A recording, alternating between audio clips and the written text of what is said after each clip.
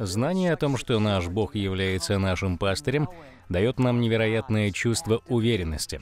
Сегодня мы рассмотрим его имена, которые он открывал своему народу. Яхве, Рохи, Господь наш пастырь. Равин Шнайдер — это голос, взывающий в нашем потерянном мире и направляющий людей к Иисусу.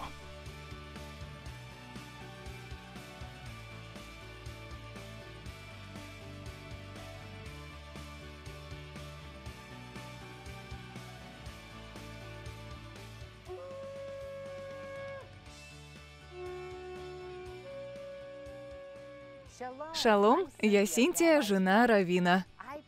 Я молюсь о том, чтобы Бог Отец коснулся вас сегодня и благословил во время проповеди и учения Равина Шнайдера.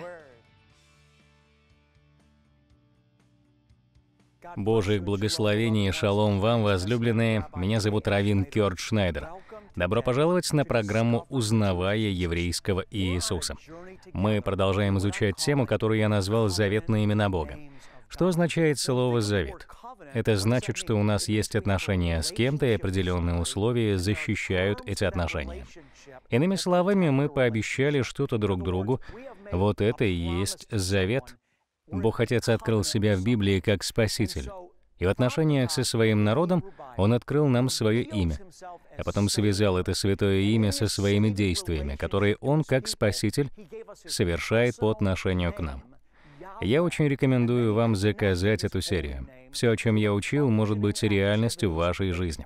Мы можем молиться, и мы даже не знаем, на какие из молитв ответит Бог, потому что иногда это всего лишь наши мысли и наши планы. Например, вы хотите купить какую-то недвижимость и молитесь Богу об этом. А может, у Бога есть для вас участок получше? То есть есть вещи, насчет которых мы не до конца уверены, потому что не знаем воли Божией в этих вопросах. Но если смотреть на заветные имена Бога, то каждый раз, когда Отец открывал одно из своих имен, становилось понятно, что Он желает делать для вас то, с чем связано Его имя. Поэтому закажите эту серию. Из нее вы узнаете истину, которая укрепит вашу веру. А когда вы будете использовать эту истину в вашей жизни, то Бог Отец начнет делать для вас то, о чем вы молитесь. На прошлой неделе я говорил о Яхве Шалом или Господь наш мир. Если вы молитесь о мире в своей жизни, то можете быть на 100% уверены, что Бог даст вам этот мир. А сейчас я хотел бы перейти к следующему имени Бога, Яхве Рохи, Господь наш пастырь. Бог, Отец, пообещал быть пастырем для своего народа. Что это означает? Лучшее место, чтобы понять, на что мы можем рассчитывать, это Псалом 22. Это самый известный псалом во всей Библии. Давайте вместе посмотрим на него. Что в нем говорится? Бог живой в нашей жизни. В первом стихе сказано «Яхва — это Рохи, или Господь мой пастырь. Пожалуйста, задумайтесь над этим. Господь не был вашим пастырем. Он не будет вашим пастырем. Он прямо сейчас участвует в вашей жизни. И Он сейчас ваш пастырь. Он действует и живет в вашей жизни. Кстати, Яхве — это глагол, указывающий на продолжительное и бесконечное действие. Он прямо сейчас активно участвует в вашей жизни, как ваш пастырь, если вы обратитесь к Нему. Итак, Господь мой пастырь. Но что же это означает? Как мы можем погрузить нашу веру в то, что Бог делает для нас, как наш пастырь? Давид детально рассказал об этом в 22-м псалме. Я прошу вас поверить в это для своей жизни. Не думайте, что 22-й псалом — это всего лишь красивый стих, который часто пишут на открытках. Поверьте, что Бог вчера, сегодня и вовеки тот же. И то, что Он делал для Давида в этом псалме, Он обязательно будет делать и для вас, если вы откроете Ему свою жизнь, свою душу. Яхве — это Рохи, или Яхве — это мой пастырь. Заветное имя, представленное здесь, это Яхве Рохи. Оно означает «Господь мой пастырь». А что это означает? «Я ни в чем не буду нуждаться», — так говорит Давид. Итак, первое, на что вы можете рассчитывать, это то, что Он будет обеспечивать вас всегда. Как мы уже говорили, это не означает, что Он обеспечит нас всем, что мы хотим. Наш Бог великий, и Он часто исполняет наши желания, дает нам много даров и подарков. Он добрый Бог, но здесь Он обещает покрывать наши нужды. И Иисус сказал, «Не переживайте о том, что вам есть завтра. Не переживайте за крышу над головой и за одежду. Ваш отец знает, что вы нуждаетесь во всем этом. А Давид писал, «Я ни в чем не буду нуждаться, потому что отец меня обеспечивает». У вас есть работа, и вы должны выкладываться на ней по максимуму. Но если вы потеряете работу, то еда на вашем столе не закончится. Бог Отец обеспечивает нужды его народа. Что еще означает фраза «Господь мой пастырь»? Он покоит меня на злачных пажитях. Об этом мы говорили на прошлой неделе. Это Яхве Шалом, то есть Он дает мне мир, а далее Он водит меня к водам тихим. Это уже говорит нам о покое. И Иисус сказал, «Придите ко мне все труждающиеся и обремененные, и я успокою вас. Дух Божий и есть покой. Услышьте меня». В послании к евреям сказано, что те, кто вступают в отношения с Богом, должны, во-первых, поверить в то, что Он есть. Это означает верить в то, что Он будет делать то, что сказано в 22-м псалме. Итак, если мы хотим ходить с Богом, то нам нужно верить, что Он есть, и ищущим Его Он воздает. Итак, если вы хотите угодить Богу, то вы должны верить, что Он есть, и что Он вознаграждает тех, кто старательно ищет Его. Я призываю вас поверить в эту истину. Погрузитесь в нее и начните верить для себя. Провозглашайте это над своей жизнью. Далее сказано, Он подкрепляет мою душу. Некоторые из нас все еще нуждаются в исцелении. Нам нужно исцеление и в теле, и в душе. Некоторые из нас пережили какое-то потрясение в детстве. Возможно, ваши родители развелись, или с вами произошло что-то еще, но Иисус говорит, «Я ваш пастырь, я подкреплю или восстановлю вашу душу. Кому-то сложно доверять людям. Кому-то сложно жить в браке из-за недоверия. Возможно, вас обидели или предали в прошлом, и теперь все ваши отношения заканчиваются плохо. Зачастую это происходит потому, что ваша душа нуждается в подкреплении.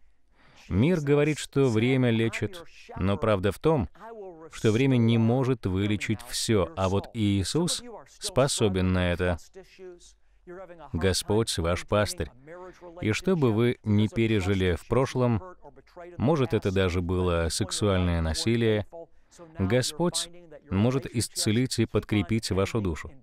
В жизни бывают такие случаи, от которых мы не можем отойти без сверхъестественной помощи. Но слава Иисусу, что благодаря Ему мы можем прийти в чувство. Я призываю вас поверить в то, что Бог Отец исцелит и подкрепит вашу душу. Какими бы ни были ваши раны, что бы ни произошло с вами, принесите это Богу в молитве. Ежедневно просите Его подкрепить вашу душу, и вы увидите, как день за днем, месяц за месяцем, Отец будет подкреплять вашу душу. Когда Иисус объявил себя Мессией, то среди всего прочего Он сказал, «Дух Господа Бога на мне, чтобы восстанавливать сокрушенных сердцем». Большая часть служения Иисуса — это восстановление сердец Его паства. Поэтому давайте верить Иисусу. Иисус любит вас. Он такой друг, который не сравнится ни с кем. Он так любит вас. Его любовь к вам ни с чем не сравнить, потому что Он создал вас для себя. Я чувствую сильное желание помолиться за каждого из вас, потому что когда мы живем в течение нашего пути, с нами происходят различные вещи. Отец, я приношу Тебе каждого из Твоих детей, которые слушают меня сейчас. Дух Божий, прошу, служи им. Я чувствую помазание, которое течет через мои слова в жизни людей. Отец, Ты касаешься их прямо сейчас. Ты сказал, что то, что мы разрешим на земле, будет разрешено и на небесах. Я сейчас высвобождаю исцеление и восстановление в сердцах и в умах Твоего народа. Иисус, спасибо, что Ты пришел к нам и принес восстановление. Мы принимаем Его и верим в Него. А сейчас начните провозглашать над своей жизнью, что Отец восстанавливает и подкрепляет вашу душу. Он ваш пастырь, и я хочу, чтобы сегодня вы ощутили Его заботу, как Он водит вас к потокам живой воды и наполняет вашу душу. Многие из вас сейчас ощущают, что Бог привлекает вас к себе. Я хочу, чтобы вы знали, вы ощущаете это, потому что Бог любит вас. Он живой. То, что вы ощущаете, это Его Дух, который манит вас к Нему. Бог, Отец, так возлюбил нас с вами, что послал Иисуса в этот мир, чтобы вернуть нас к себе. Иисус сказал, «Я есть путь, истинная жизнь. Никто не приходит к Отцу, как только через Меня. Отец любит вас. Он создал вас и желает ввести вас в ваше предназначение, которое можно найти только в Нем. Если вы хотя бы немного ощущаете сейчас Дух Божий, Он вас призывает внутри, чтобы вы обратились к Богу. Не сопротивляйтесь. Если то, что я говорю, находит отклик в вашем сердце, преклоните колени пред Богом. Не то чтобы это работало только на коленях, но в вашем разуме этот момент будет запечатлен.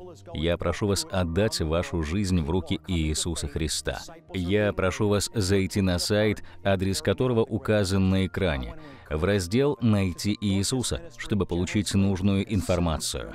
Вы приняли самое важное решение в своей жизни, не сомневайтесь. Я люблю вас, и самое главное, Иисус любит вас. Мы возвращаемся к сегодняшней проповеди. Давайте продолжим. Третий стих. «Что делает Бог, как наш пастырь? Направляет меня на стези правды или праведности ради имени Своего».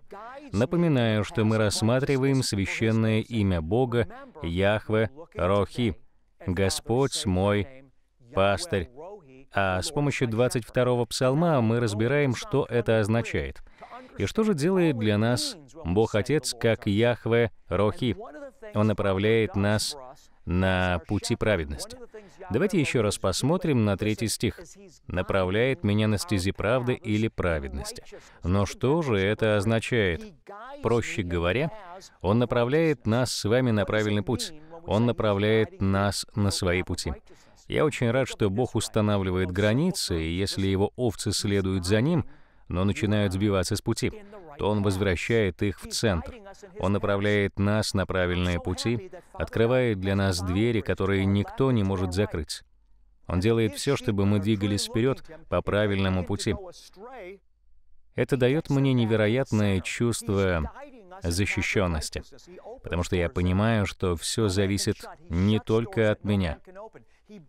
Если я взираю на Отца, то могу надеяться на то, что Он будет направлять меня. Это не означает, что все мои слова, мысли и поступки будут правильными. Но если мой взгляд будет устремлен на Него, то Он будет вести меня на правильный путь. Мой друг говорит, что это похоже на боулинг для детей, когда появляются специальные перила или бортики. Когда шар ребенка начинает катиться в канаву, то эти перила отталкивают его обратно в центр дорожки. Вот как я представляю себе то, как Бог направляет меня на путь праведности. Даже если я немного ухожу в сторону, Он помогает мне двигаться вперед. Как наш пастырь, Он направляет нас на пути праведности. Бог любит вас, и вы можете быть уверены, что Он будет делать это для вас. Он активно участвует в вашей жизни.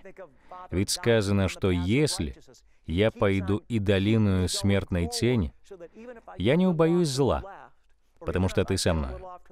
Когда Давид писал этот псалом, он не жил во дворце и не сидел на троне, пока слуги подавали ему вино. Он был в самом центре конфликта. Враги преследовали его и угрожали его жизни. Ситуация оказалась очень опасной, но посреди опасности Давид заявлял, «Если я пойду и долиную смертной тени, не убоюсь зла, потому что ты со мною». Мы с вами тоже живем в опасном мире. И это для нас не новость, но мы можем доверять Богу и не бояться, потому что наш Бог больше, чем этот мир. И прямо сейчас Отец говорит нам с вами, «Не бойся, потому что я с тобой». Более ста раз Бог говорит нам в Писании, «Не бойся, будь тверд и мужествен, потому что я с тобою». И Иисус сказал, «Я с вами до скончания века, поэтому не бойтесь». Итак, Господь наш пастырь, и поэтому вам не нужно бояться. В пятом стихе сказано, «Ты приготовил предо мною трапезу в виду врагов моих». Библия говорит, что когда Иисус вернется, тот, кто был последним, станет первым, а тот, кто был первым, станет последним. Бог принесет справедливость. Бог сделает так, что вы больше не будете думать, что ваши враги одержали над вами победу.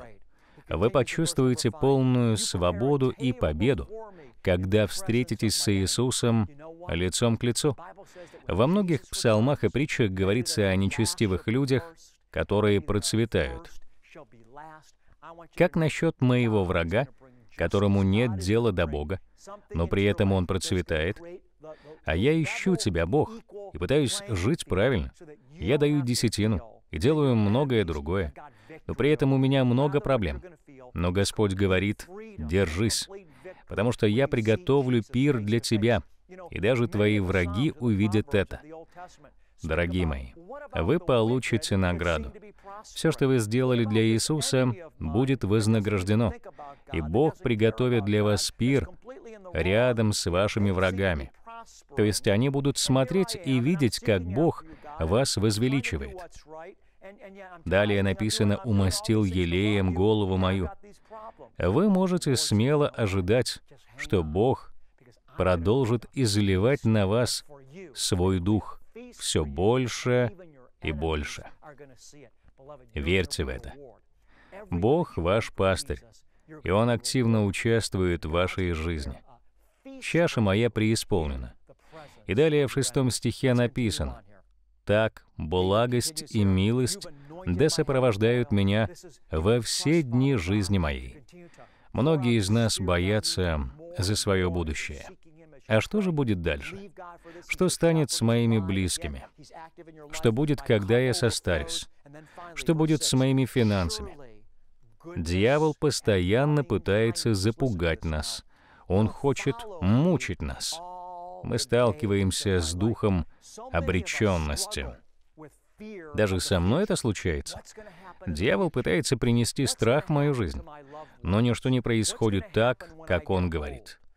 Бог остается верным, как и Его Слово. Так благость и милость будут сопровождать вас во все дни жизни вашей. Прямо сейчас отвергните дух обреченности. Если можете, то поднимитесь с кресла или с дивана. А если вы испытываете страх за свое будущее, или вы просто испытываете страх и постоянно думаете о том, что с вами или вашими родными произойдет что-то плохое, Господь говорит в вашу жизнь нечто иное. Он сказал, «Так благость и милость будут сопровождать вас все дни жизни. Мысли страха, обреченности и потери, которыми пичкает нас дьявол, не являются правдивыми. Это ложные свидетельства, которые лишь кажутся настоящими. но у Бога есть для вас хороший план. И это план, который будет следовать за вами все дни вашей жизни. На иврите сказано не просто, что благость и милость будут следовать за вами. На иврите сказано, что они захватят вас. Божья благость и милость преследуют Божьих детей и захватывает их. Бог Отец желает, чтобы мы улыбались, были счастливы и имели уверенность только в Нем. Поэтому я предлагаю вам прямо сейчас разорвать соглашение с мыслями страха в вашем сердце, со страхом за ваше будущее. Вы готовы порвать отношения с этими мыслями? Вы готовы отвергнуть их, а вместо этого прийти в согласие с Богом? Готовы ли вы это сделать прямо сейчас? Давайте разорвем соглашение с силами тьмы. Давайте помолимся вместе. Бог Отец, спасибо за то, что Ты так сильно любишь меня. Прямо сейчас я разрываю соглашение со страхом и мыслями обреченности и страха за мое будущее. Я отрекаюсь от этих мыслей, потому что это ложь от дьявола. Я отрекаюсь от них и прямо сейчас заявляю, что я верю в Твою любовь ко мне. Я верю в любовь Иисуса ко мне. Я верю Твоему Слову. Ты сказал, что Твоя благость и милость будут сопровождать меня во все дни жизни моей. И я верю в это. Я верю, что мое будущее будет хорошим, а Твои благость и милость всегда будут со мной. С этого дня я буду сражаться за свою веру и верить себе. Я верю, что Ты любишь меня и что меня ждет хорошее будущее. А напоследок я хотел бы дать вам самое красивое Божие обетование о том, что бывает, когда мы почитаем Бога своими финансами. Я прочту притчи, 3 глава, 9 и 10 стихи. Откройте свое сердце и послушайте эти слова. «Чти Господа от имения Твоего и от начатков всех прибытков Твоих, и наполнятся житницы Твои до избытка, и точила Твои будут переливаться новым вином». Это обещание — и когда мы почитаем Господа своими финансами, Он отвечает на это сверхъестественным благословением наших обстоятельств. Если вы верите в это, и если вы чувствуете, как Дух Святой стучится сейчас в ваше сердце, то сделайте свое лучшее приношение Господу через наше служение. Спасибо за вашу помощь, я люблю вас и Божьих вам благословений. Если вы хотите стать нашим партнером, то отправляйте свои пожертвования по адресу, который вы видите на экране. Или же вы можете сделать это на нашем веб-сайте. В благодарность мы вышлем вам аудиопроповедь Равина Шнайдера, а также наш информационный бюллетень.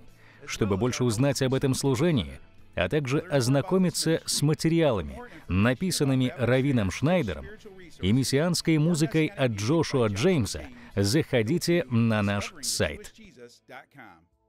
Если у вас есть свидетельство о том, как Бог изменил вашу жизнь через служение, узнавая еврейского Иисуса, то поделитесь им с нами. Зайдите на наш сайт и кликните на ссылку «Свидетельство». Я стал вашим партнером, потому что видел благословение Господа в жизни моей жены с тех пор, как она стала вашим партнером. Седрик из Техаса. Мы рады, что вы смотрели нас сегодня, и мы хотим помолиться за вас. Присылайте нам свои молитвенные просьбы по почте или посетив наш веб-сайт. Мы также хотим поблагодарить вас за вашу финансовую поддержку. Поддерживая наше служение, вы становитесь партнером Бога в построении Его Царства. Спасибо вам, и пусть Отец воздаст вам за вашу щедрость и ваши сердца. Будьте обильно благословенны.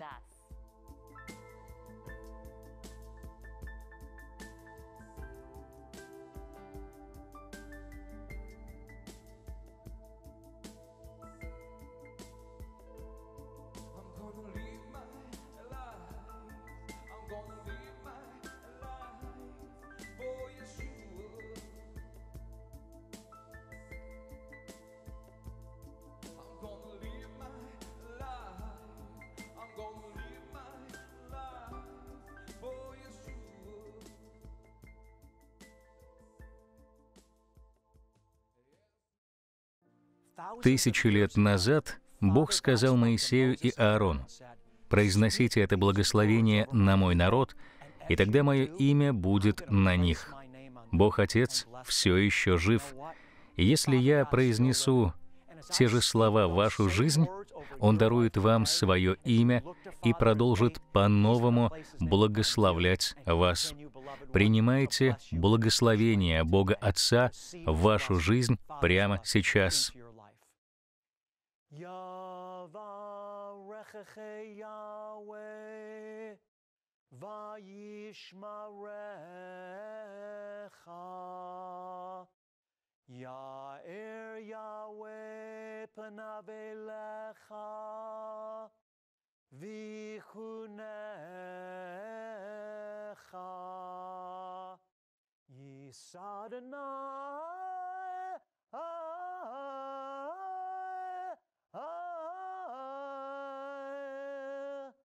פניו אליך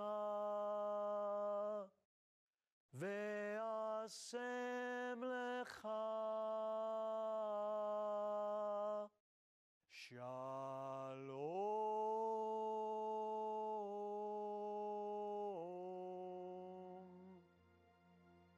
Да благословит вас Господь и сохранит вас. Да озарит вас Господь светом лица своего. И будет милостив к вам. Да обратит Господь к вам лицо свое, и да дарует вам свой мир, свой совершенный шалом. Многие из вас чувствуют сейчас нечто таинственное. Иисус стучится в двери вашего сердца, Он любит вас. Он хочет войти и жить в вас. Для этого вам лишь нужно сказать, «Иисус, пожалуйста, прости мне мои грехи». Я верю, что Ты умер на кресте за меня, поэтому я прошу Тебя, войди в мое сердце и поселись в нем навсегда. Если вы произнесли эту молитву и отдали свою жизнь Иисусу, а теперь готовы следовать за Ним, то Он изменит вашу жизнь навсегда. Если вы приняли это решение, то я прошу вас, воспользуйтесь информацией, которая сейчас на ваших экранах. Пусть Бог благословит вас. Я люблю вас. Шалом. Смотрите программу «Узнавая еврейского Иисуса» как хотите и где хотите. Просматривайте на Фейсбуке еженедельные послания Равина «Семена откровения». Смотрите полные выпуски на YouTube. Загружайте учение Равина через наше мобильное приложение – а также читайте особые письма от Синтии.